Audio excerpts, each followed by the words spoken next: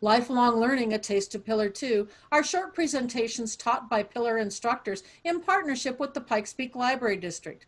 This program is made possible as the result of a grant from Next 50 Initiative, a nonprofit organization dedicated to funding innovative, mission driven initiatives that improve the lives of older adults and their caregivers. For more information, you can visit Pillar online at www.pillarinstitute.org or contact our executive director, Vicki Hefner, at director at pillarinstitute.org. Okay, hello, my name is Sandy Halby. Welcome to a Taste of Pillar 2 class. This class is on the Imperial Easter eggs and Fabergé, the man who created them. In order to enjoy this class thoroughly, we'll talk just a little bit about Russian royalty, Tsar Alexander III and Nicholas II, and the House of Fabergé. Of course, it was the House of Fabergé who created the imperial Easter eggs, or as they're sometimes called, the Fabergé eggs.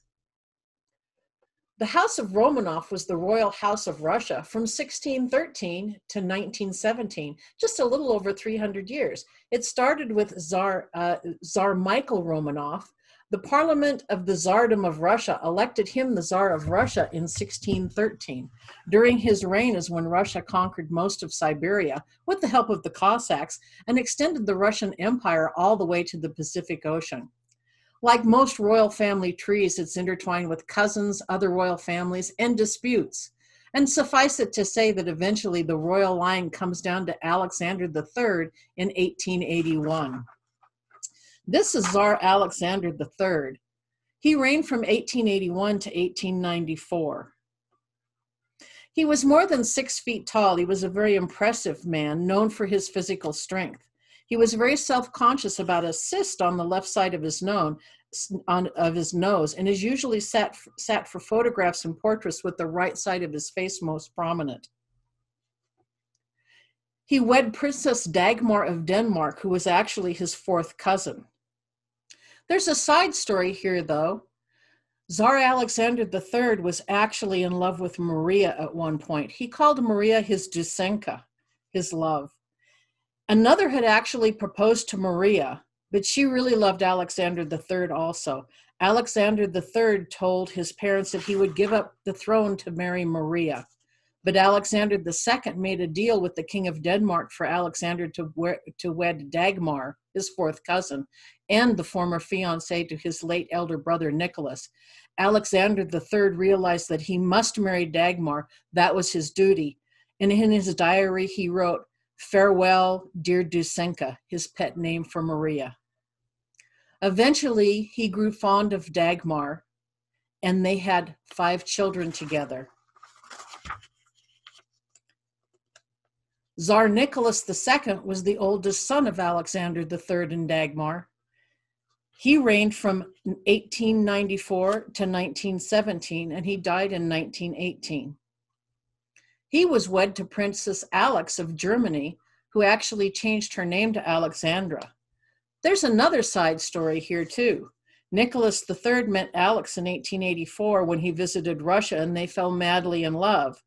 However, their engagement was a disappointment to Alex III, who was anti German and wanted Nicholas to marry Princess Helene of France. But Princess Helene resisted converting to Russian Orthodoxy, and that was the end of that. So eventually, the match between Alex and Nicholas II was approved, and they wed just days after Alexander III died. And here's Nicholas II and Alexandra's wedding, uh, excuse me, their engagement photo.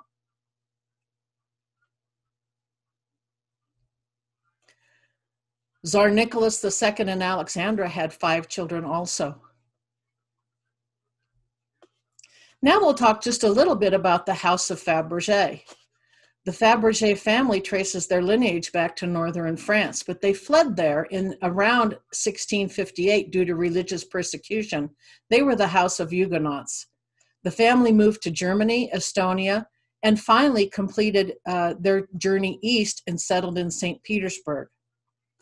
In the 1830s, Gustave Fabergé trained as a goldsmith making gold boxes and in 1841, his apprenticeship over, Gustave Fabergé earned the title of Master Goldsmith. In 1842, he opened his own shop and he added the acute accent over the last E of his name to appeal to the aristocracy of the time.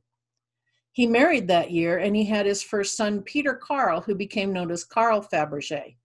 Their second son, Agathon, was born 16 years later. The business, Fabergé, was and still is quite a success. Eventually, Gustav Fabergé retired to Dresden, Germany, leaving Fabergé to trusted managers while Carl continued his education abroad. Carl Fabergé, like the son of so many wealthy businessmen of the time, toured uh, Europe on a grand tour, as was the custom. He studied with the most prominent jewelers and goldsmiths of the time in Germany, France, and England, and as well as studying art and jewelry in museums across Europe. At age 26, he returned to St. Petersburg and he worked with his father's senior goldsmiths. In 1882, Carl Fabergé took over running the firm and is named a master goldsmith. That same year, his brother joined the business as a designer. This was the mark that they put on their jewelry, and here's a picture of Carl Fabergé in later life. These are some of the other jewelry that they made at the House of Fabergé tiara, some pins, and a picture frame. Around the same time that Carl Fabergé took over the business, he was asked to repair and restore some objects from the Hermitage Museum in Russia. Based on that work done, Fabergé was invited to exhibit some pieces at the Pan Russian exhibit in Moscow.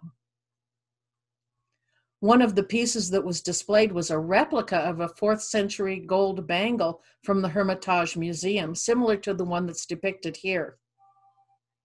Tsar Alexander III said he could not tell it from the original, and thus Fabergé became known to the House of Romanov. Alexander III ordered some samples from the House of Fabergé, and those pieces were displayed in the Hermitage Museum as an example of superb contemporary Russian craftsmanship. As a result, the House of Fabergé was bestowed with the title of Goldsmith by special appointment to the imperial crown, and that led to the commissioning of the stunning imperial eggs. The imperial eggs were a series of eggs totaling 50 eggs in all that began in 1885 and ran until 1916. Some consider the imperial eggs the greatest commission of objects to art ever. All of the eggs contained a surprise, a trinket, or a jewel inside. 10 eggs were produced from 1885 to 1893 for Alexander III. The first egg was meant to be an Easter present for his wife, and initially the imperial eggs was to contain a diamond ring, but he changed his mind and substituted a ruby pendant. 40 eggs were created during the rule of Nicholas II, two each year, one for his mother, the dowager, and one for his wife. In addition to the imperial eggs, there are other Fabergé eggs. Some are called the Kelch eggs, Fabergé made 12 eggs for Alexander Kelch, a Siberian gold industrialist, as gifts for his wife. They are technically Fabergé eggs, but they weren't as elaborate as the imperial eggs and were not unique, as a couple of them were copies of other designs. There are nine other Fabergé eggs, also produced by the Fabergé house, that were uh, produced during that era, and four are owned by Victor Vekselberg. We'll hear more about Victor Vekselberg in a while. 44 imperial eggs survive today. In 1927, Joseph Stalin sold many of the eggs to buyers outside of Russia. Currently, 10 eggs are on display at Moscow's Kremlin Armory Museum. The second largest collection of Fabergé eggs belongs to, belonged to Malcolm Forbes and was displayed on, in New York City. It was nine eggs and around 180 other Fabergé objects, pins, tiaras, things like that. The collection was going to be auctioned in February 2004 at Sotheby's, but right before the auction began, the entire collection was purchased by Russian businessman Victor Vekselberg. This was the very first Fabergé egg made. This is known as the jewel hen egg. Its opaque white enamel shell, the outside of the egg, opened to reveal a yellow, oh, yellow gold yolk, and inside the yolk revealed a gold hen egg that opened up. Uh, excuse me, a gold hen that opened up. The hen contained a diamond replica of the imperial crown, and there was a small ruby pendant was, that was there. The last two elements, the uh, diamond replica of the crown and the ruby pendant, have been lost. I've got a better picture of it here next. You can see there the white enamel egg, and then there was the yellow yolk, and inside that was the hen. And the hen opened up, and that's where those two trinkets were inside. This was the very first Fabergé egg ever made, the imperial egg. This egg is currently owned by Victor Vekselberg. He's a Ukrainian born Russian businessman, the owner of Renova, a Russian conglomerate. His fortune is estimated at a little over $11 billion, making him the 119th richest person in the world. He owns nine Imperial eggs. He also owns two Kelch eggs and four other Fabergé eggs. He has quite the collection. The second Fabergé egg was hen with sapphire pendant. Unfortunately, there's no known photographs or even illustrations of this egg, only descriptions of it. It's described as a hen of gold and rose diamonds taking a sapphire egg out of a nest, with the sapphire loosely held in the hen's beak. The hen and basket were reportedly both made of gold studded with hundreds of rose cut diamonds. But the written description of the egg sometimes conflicts with the others. The last documented location of the egg is from an archive of the provisional government Russian of provisional Russian government's inventory in 1922 when the egg was held in the Armory Palace of the Kremlin. From then on, it's lost to history. This is the third Fabergé egg that was ever made. It's called the Third Imperial. The Third Imperial is an 18 karat gold egg resting on a gold ring held up by three sets of lion's legs ending in lion's paws. You can see them here. There's gold roses and leaves and gold alloy joining in the, in the middle by a sapphire. Above each sapphire is a gold bow, tiny diamonds, and a large diamond in the front. The large diamond in the front is a clasp that reveals the surprise. It has a clock inside. This egg has got a fascinating story. This egg was actually owned by a scrap dealer in America. He went. Uh, he owned it. He bought it in 2002 for a purchase price of thirteen thousand three hundred and two dollars. He was intending to sell it for scrap gold, but prospective buyers thought he had overestimated the price and turned him down. He had this in his kitchen for years, and he was going to sell it for just scrap and sell the jewels. And one night, out of curiosity, he got on the internet and he looked at it, was looking up, um, Googled, he Googled egg and Vacheron Constantin, which was the name etched on the clock that's inside the egg. And the result was an article that had been published in a London newspaper about a missing imperial egg. And he recognized the egg in the picture in the article. He said he knew instantaneously he had the third imperial egg. And he contacted the dealer in London that was listed in the article about imperial eggs. The expert uh, flew to the Midwest of the United States and he walked into a very modest home in the Midwest next to a highway and a Dunkin' Donuts. And there was that third imperial egg sitting next to some cupcakes on a counter and it became a very uh, famous picture. The expert said he knew instantaneously it was the missing third imperial egg that this scrap dealer had intended to sell for scrap gold and jewel. And this expert said it was like being Indiana Jones and finding the lost ark. Here's that photograph of that third imperial egg sitting next to a, a, a cupcake on a kitchen counter in the Midwest.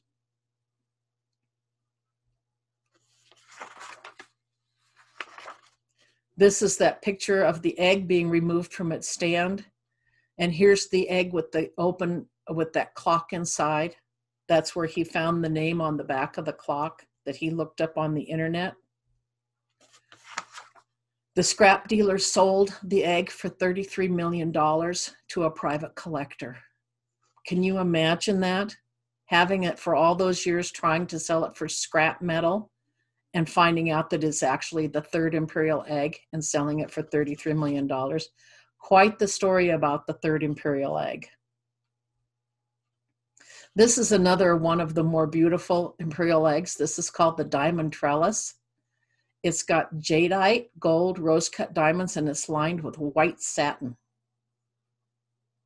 The surprise inside was an elephant figurine, and it was thought to have been lost for many years, but it was actually identified in 2015 as being part of the collection of the British Royal Collection Trust.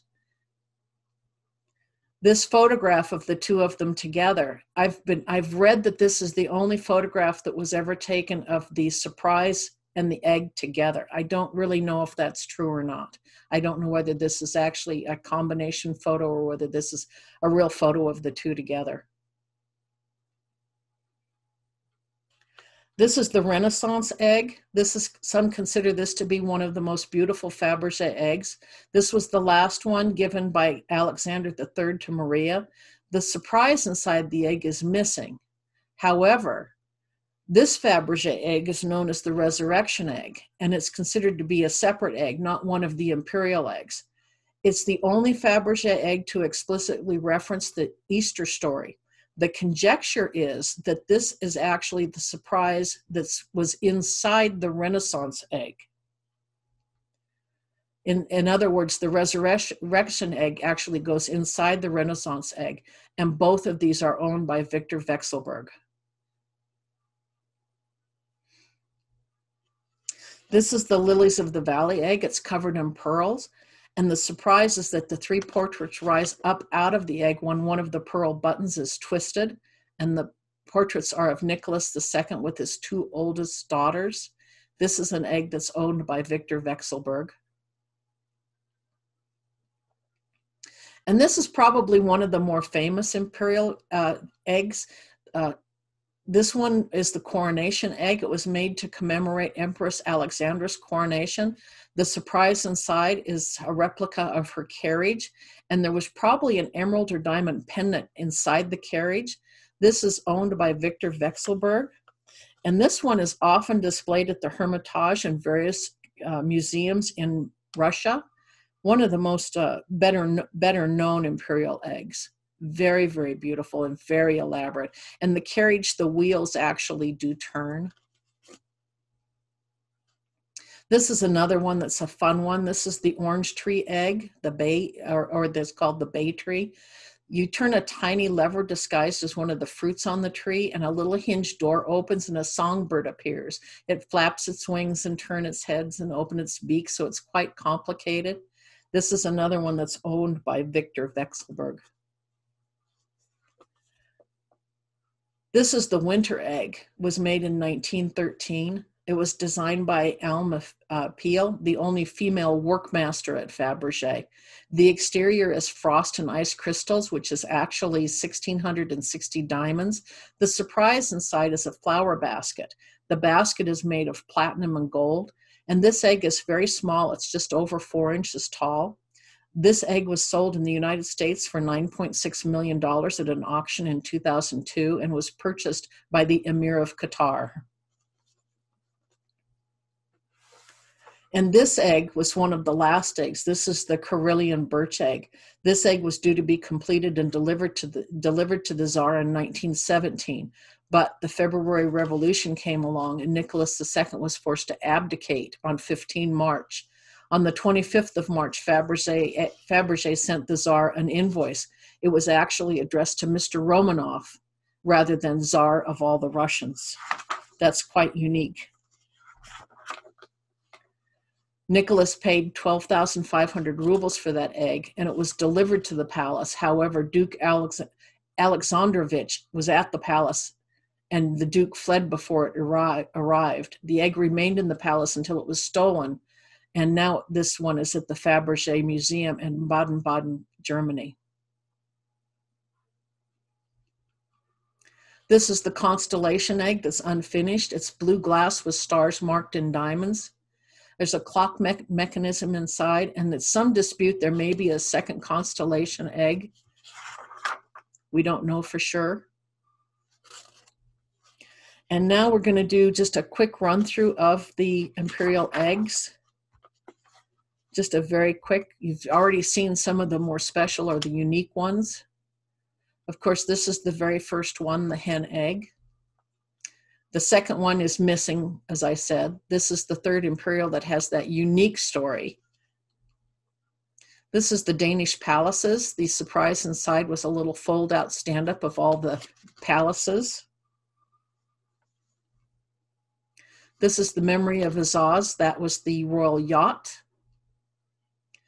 This is the diamond trellis. This is the one that had the surprise inside with the elephant that actually is in the British Museum. This is the Caucasus egg, one of the two eggs that was red in color. The Renaissance egg, which is just beautiful. The rosebud, the surprise inside was the rosebud, which I believe had a uh, uh, two surprises inside, jewels, of course. This is the blue serpent clock. Prince Albert uh, II of Monaco actually owns this one. This is the rock crystal egg. This is actually in the Virginia Museum of Fine Arts. This is called the 12 monograms. This one is in Washington, D.C. This is that imperial coronation egg that is so beautiful. This is that lilies of the valley egg. This one is the pelican egg. It's got a pelican on top with a nest with five babies. That's to, made to represent the imperial family with the five children. This is at the Virginia Museum of Fine Arts in Richmond, Virginia. This is the bouquet of lilies clock. This is one of the few Fabergé eggs that has never left Russia. It's still in Russia. It's the, at the Kremlin Armory. This is the pansy egg. This one is done in the Art Nouveau style. This is one of my favorites. This is the Trans-Siberian Railway. This has got a route map of the Trans-Siberian Railway engaged in, uh, engraved in silver across the face. The train is the length of one foot and it has a diamond headlight and ruby tail lights. The train has a gold key that you can wind up the train to make it run. This is the cockerel clock. There's a red cockerel on top. This one is from 1901, Basket of Flowers. You can see how delicate that is. I believe I read that this one is like only four inches tall also, so it's very small, so you can see how in, in, intricate the detail is. And those are all diamonds across the basket and in, in the intricate weaving there. This is the Gatchina Palace. The surprise inside that palace is not removable. However, in a later egg, there is one where the palace is removable. This is the cloverleaf egg. This is another one that has never left Russia. The surprise inside, I believe, is missing on this one. This is the Empire Nephrite egg. This is in a private collection in New York City. This is the Peter the Great egg. This is another one in Virginia Museum of Fine Arts. This is the Moscow Kremlin egg. This is another one that has never left Russia. This is the swan egg. You can see how beautiful that is. And the trinket inside has survived on this one. You can see the trinket is a little necklace with a jewel at the end of it. This is the rose trellis egg. This is the love trophies egg. This is in a private collection. This is the Alexander Palace egg, and this one you can see that the palace, which is the surprise inside, does come out of the egg.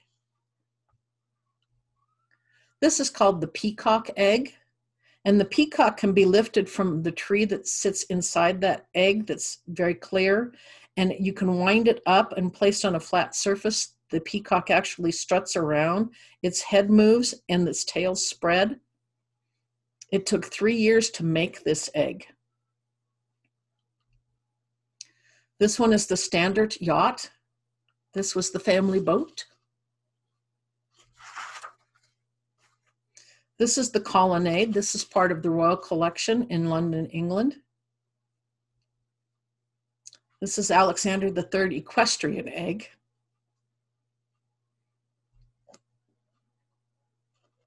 This is called the 15th anniversary egg. It commemorates the 15th anniversary of the coronation of Nicholas II. Victor Vekselberg has this one. We already talked about the bay tree egg. You can see the little bird on top that pops up there. This is the Tsarevich egg. This one is another one in the Virginia Museum of Fine Art. The Napoleonic egg. And this is the Romanov tercentury egg.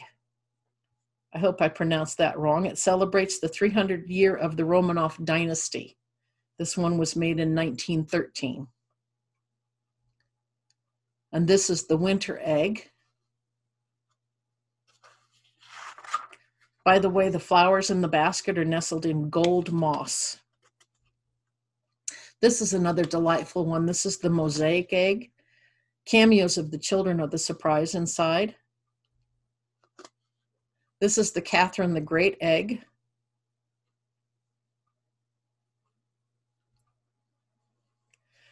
Now we're entering the World War II era, so we've got Red Cross eggs. This is one of the first Red Cross eggs. This is another one that has imperial portraits. This is women from the House of Romanov wearing uniforms of the Red Cross workers. And this is the steel military egg. This is the one egg that has no gemstones on the exterior.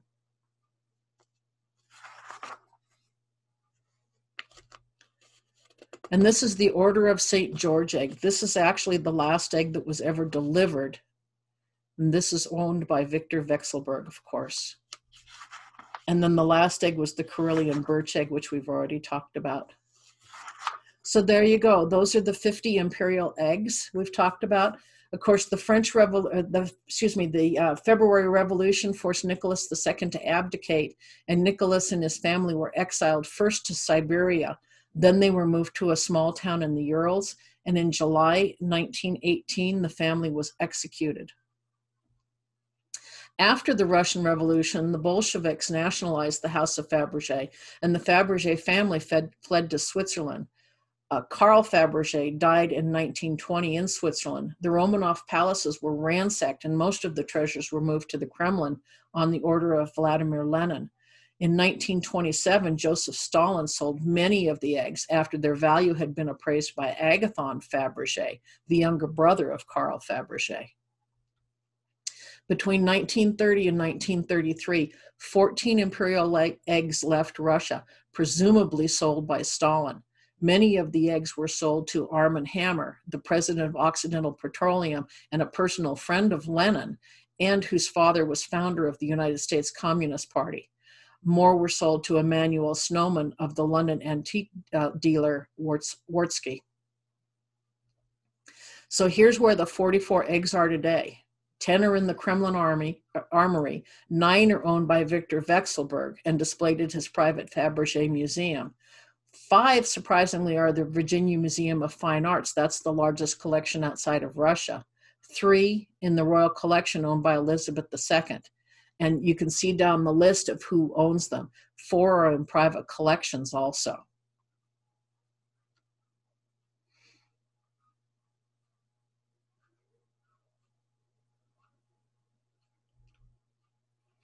So of those 44, there are six that are still out there. That second egg with the sapphire pendant that went missing in 1922. There's another one, the cherub with chariot egg from 1888. The mauve egg, although Victor Vekselberg owns the surprise that was in the egg. And then these three the Royal Danish, the Necessaire egg, and the Alex III commemorative egg, those are still missing. So, like I tell people, if you have perhaps a Russian ancestor in your family and they have something stuck in the attic or in a jewelry box somewhere, take a good close look at it and see if maybe it's one of these missing imperial eggs. So, there you have the f- stories of the 50 imperial eggs. Thank you for joining us today for this Taste of Pillar 2 presentation, and we hope that you'll look at some other pillar classes to take in the future. We hope you enjoyed this. Thank you.